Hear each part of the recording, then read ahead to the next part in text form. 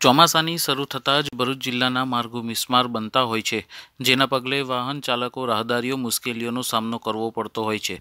જે બાબતને લઈને ભરૂચ યુવા કોંગ્રેસે ઉગ્ર વિરોધ પ્રદર્શન કરી માર્ગ, મકાન મંત્રી અને કાર્યપાલક ઇજનેરના પુતળાને ગદર્ભ ઉપર બેસાડી આરએનબી કચેરીએ પહોંચતા પોલીસ સાથે ઘર્ષણ સર્જાતા પોલીસે કોંગીજનોની અટકાયત કરી હતી.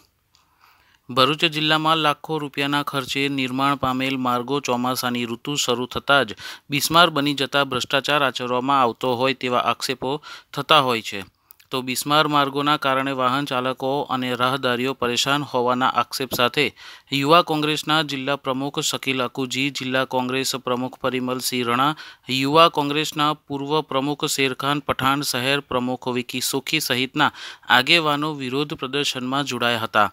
અને ભરૂચ ખાતે આવેલ આર એન્ડ બી કચેરીને ઘેરો ગાલવા માટે બે ગદર્ભ પર બે પૂતળા બેસાડી મુખ્ય રોડ પરથી પહોંચતા ભારે હોબાળો મચી ગયો હતો.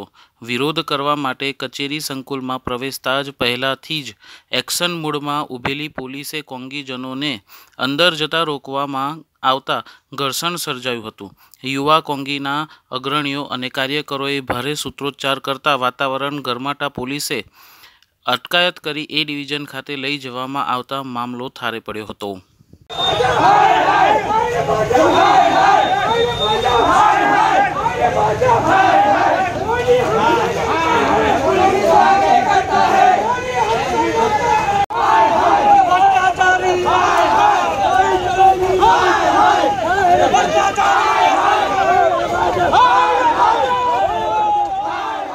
આજે અમે સરકારનું ગધેડા પર જે સરકારને આ જે બતાવવા માંગીએ છે કે ગધેડાને લઈને અમે વિરોધ કર્યો છે, ગધેડાઓને જો તકલીફ થતી હોય તો ઇન્સાનોને પણ તકલીફ થતી હોય છે. એવી ભરૂચ જિલ્લાના રોડની પરિસ્થિતિ થેરે થેર હોય. બાયપાસ બ્રિજ હોય, નંદેલાવ બ્રિજ હોય, નેત્રંગ રોડ હોય, ઝઘડિયા રોડ હોય, જે દેશમાં ગણાતું સ્ટેચ્યુ, એ રોડ આજે પરિસ્થિતિ જોવા જઈએ તો ત્યાં રોડ નથી, ખેતર બની ગયા છે.